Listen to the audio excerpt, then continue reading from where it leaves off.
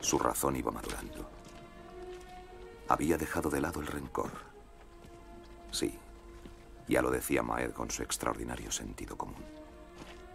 Sería un golpe bueno agruparse tranquilamente, conocerse, crear sindicatos cuando las leyes lo permitieran.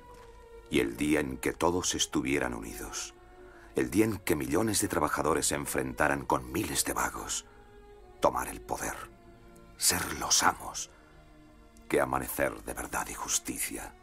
Ahora, en el cielo, el sol de abril brillaba con todo su esplendor y calentaba la tierra que daba fruto.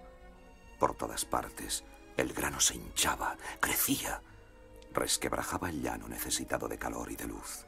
La profusa savia fluía en un murmullo.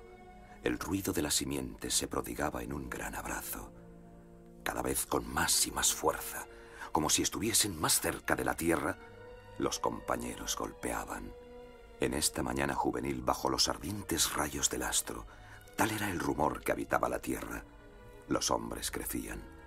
Un negro ejército vengador brotaba lentamente en los surcos, y fructificaba para ser recogido en los siglos venideros.